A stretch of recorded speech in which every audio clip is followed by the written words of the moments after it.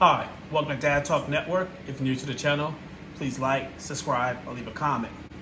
Today I'm back in the kitchen with my wife Tracy. So Tracy, what are we cooking today? Today, we're going to cook beef boneless short ribs.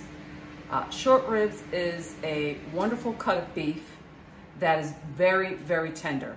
Um, it's the it's the type of beef that you sear on the on the stove and then braise and then you finish the cook in in the oven. So let me show you this cut of beef short rib. This is the boneless style. They're usually square shaped. They call it the English cut.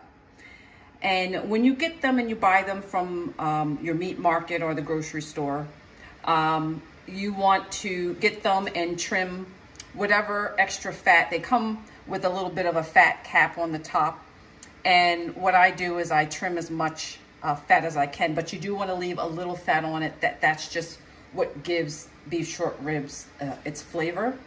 And it's as you can see, it's nice and marbleized and um, it will be extremely tender. Uh, I have two stalks of celery here. I have uh, I have a medium onion or half of a large onion here. I have two tablespoons of minced garlic.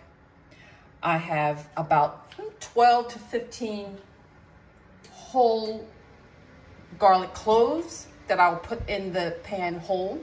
I have some rosemary that I'll just put a couple of uh, fingerfuls of uh, rosemary, some browning sauce, some soy sauce. I'll just use a couple of teaspoons of the soy sauce. I will use a full bottle of uh, red cooking wine. I have about a quarter cup of Worcestershire sauce, a bunch of thyme, a few bay leaves I'll put in there.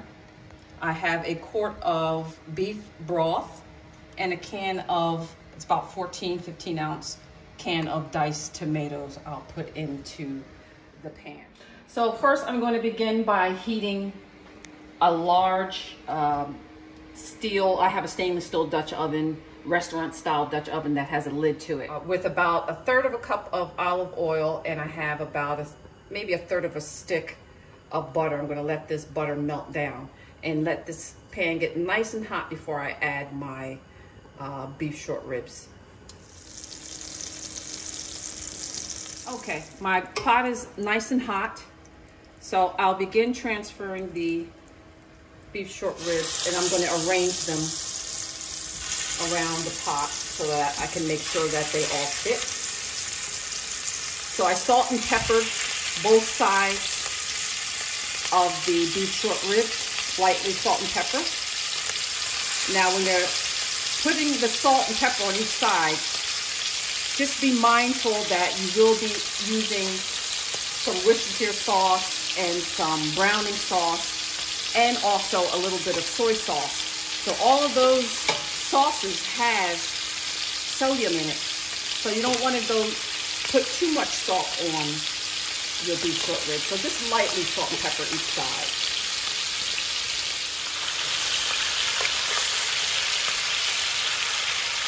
So here I was able to make it all fit.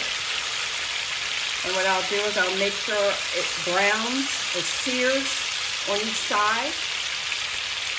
And I'll flip them over and, then, and let it brown on the other side. And then once that happens, I'll remove them from the pan and begin to saute my um, vegetables. Okay, now the short ribs are ready to be flipped. So they're nice and seared and browned on one side.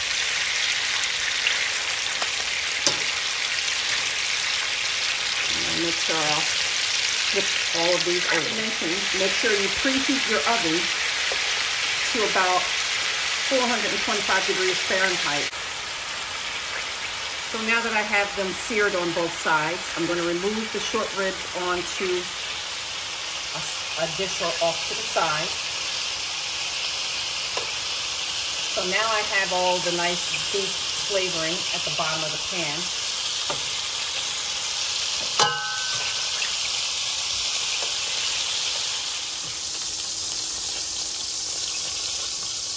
The onion The celery. We saute that. So while this is cooking down, I'm going to begin to add two teaspoons, roughly, of rosemary. I'm going to add the whole cloves of garlic.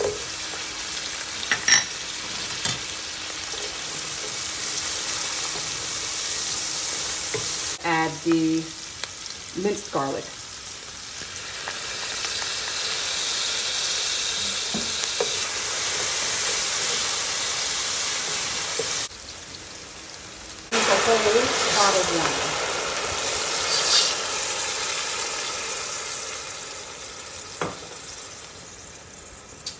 And just loosen up and deglaze all the bits that are at the bottom of the pot. Teaspoons of browning sauce. Just eyeing that. Three teaspoons of soy sauce. Two, add the quarter cup of Worcestershire sauce.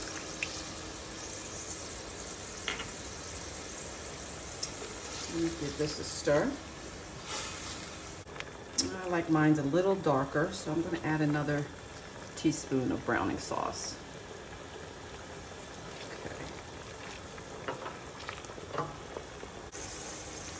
Okay, it's been about a minute or so and a good portion of the alcohol within the wine is cooking off.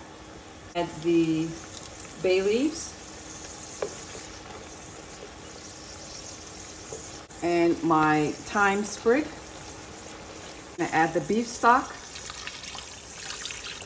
Now, some recipes you can actually use mushrooms. You can use maybe about eight ounces of mushrooms if you're a mushroom lover. You can add that in as you're cooking the onions and celery. But I do have uh, guests over that aren't too crazy about mushrooms, so I'm going to leave them out. And I'm going to, I have about a cup of water here.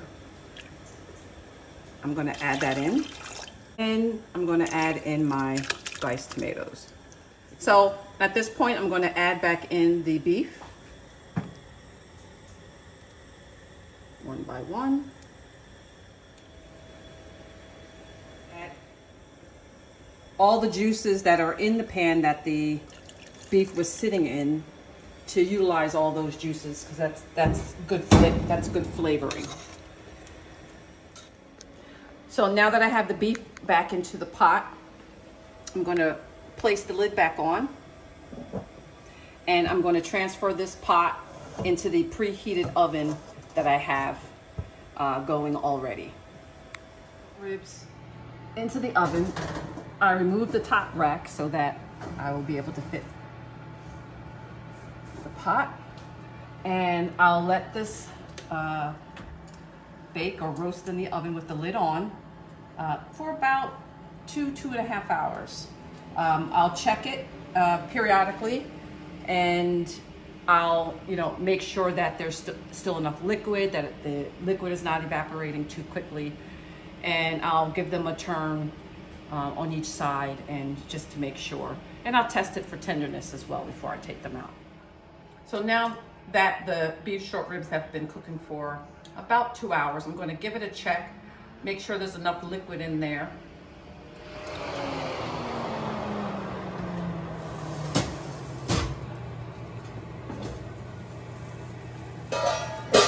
So as you can as you can see here, it's cooking very nicely. The liquid is starting to evaporate and all of the flavors, this, this uh, sauce here that it's cooking in is very flavorful.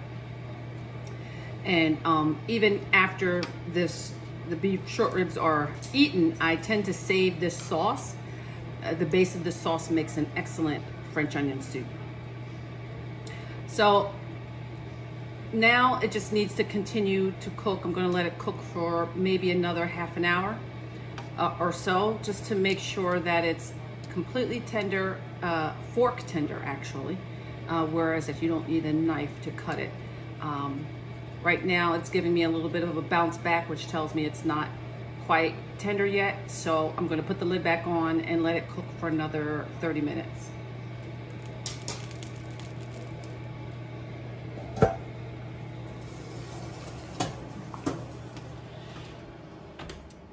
Okay, so my short ribs are pretty much done, so I'm gonna do a plating straight from the pot. Now, while my beef short ribs were cooking, I did prepare some mashed potato and some cooked carrots on the side. You can, this is delicious with, you can have it with rice or potato, um, whatever you like as a side dish and whatever your favorite vegetable. So I'm going to plate it with one. I'm just going to take a little of the sauce and put it over the mashed potato. And a little sauce over the short rib. So now it's time for the taste test. My favorite part.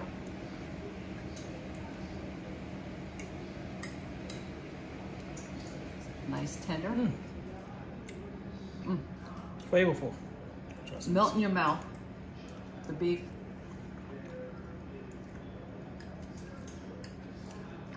Very nice combination with the carrots and the mashed potato. Mm.